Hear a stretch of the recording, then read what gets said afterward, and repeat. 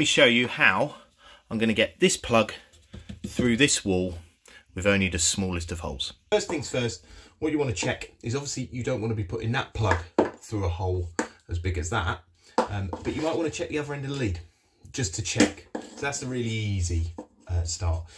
If you haven't got any means um, in which the end of the lead, maybe it's hardwired into something, um, then you're going to have to look at the type of plug that you've got. So if you've got a plug which has got these screws on the bottom, it means basically you can take it apart. And what you're going to be doing is taking the wire out of here and the hole that you drill will be the diameter of that wire. Okay, so a few caveats. If it's a molded plug, I'll show you one of those, then you can't do it. Or if it's a transformer type plug end, then you can't do that as well. Let me show you what I mean about those two types of plugs. Okay, so let's start with the molded plug. So this is a molded plug. What that means is, is there's no screws on it, so you can't take it apart.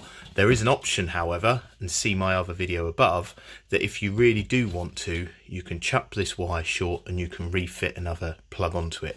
So you cut the wire, feed it through the hole, and then you can, using a replacement um, plug here, you can wire it up. The other type of plug is this kind of transformer end plug. You'll usually see it, it's got this kind of end and it's quite fat. There is no way that this plug here, unfortunately, you can feed it through the hole or you can chop the wire.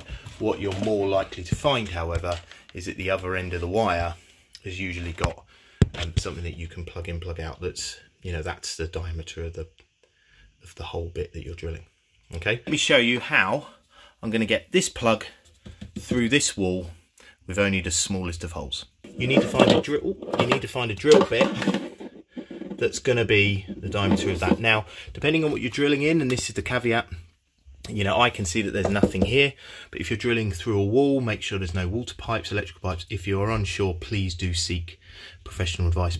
So I've found my drill bit, and the drill bit is just wider than the width of the just wider than the width of the wire okay? So I want to drill this now. Smallest hole possible. I mean you're, you're depending on your configuration smallest hole possible. There you go.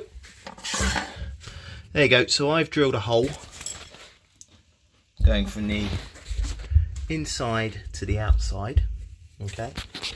And I'll just tidy it up a bit. So that because I know that is as small a hole as I need okay? Now let me show you how I get the wire through there. So what you're going to be doing is you're going to be taking this plug apart okay? Taking the wire out the plug and then feeding the wire through the hole. A few caveats. Obviously you need enough space on this side that you're going to be able to rewire the plug okay? Which sounds odd but you don't want to be you know for example having not enough wire left to uh, to plug this into okay? Um, so just make sure you've got enough space on this side because you're rewiring the plug in this area here okay? Once you take the wire apart. So so first things first you want to take this big screw out in the middle here okay? Bit of a caveat if you're not happy with this and you don't feel confident with it um, in terms of taking wires out of a plug and putting them back in then do seek electrical professional advice. It's not that difficult but obviously you know, if you're not comfortable, then please do seek um, proper advice. The back is off, okay? Uh, there you are. And now all you're doing is taking, if you might have an earth wire, but you're taking these off and these out, so you're taking the wire completely away from the plug. Okay, so first things first, I would take these two out here and then these two and potentially an earth wire if you've got it. Remember, where the configuration these wires are. It should be blue, brown, and then a green, green slash yellow here.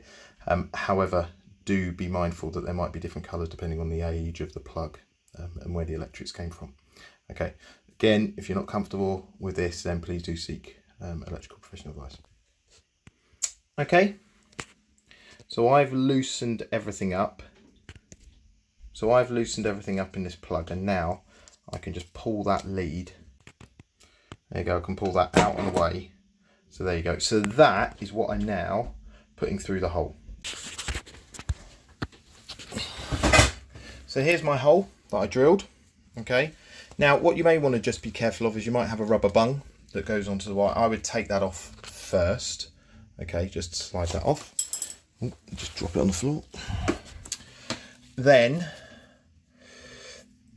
this wire here, you're just feeding it through the hole. So stop these splaying apart is I would twist them around on one another. Okay, a little bit like that.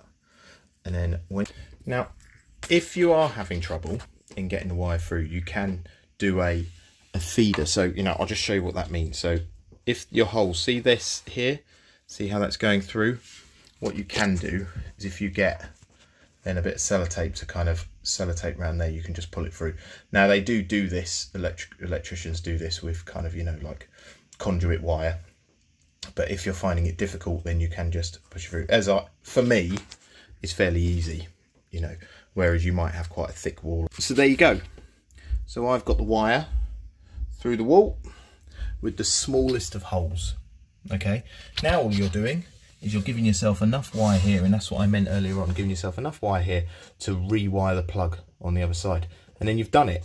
You've created a small little hole, not a massive one for the size of the plug, and then you can just rewire this. Like I said earlier on, if you've got a molded plug, you can get around that by chopping the wire and refitting it to uh, a standard plug. And my video will show you that above. I hope that's helped. I won't show you how to refit it. Um, please do like, please subscribe. If you're unhappy with any of this video, like I've said a few times, please seek professional advice, both in terms of drilling and in terms of fitting and rewiring a plug. Um, but I hope this has helped and thanks for watching.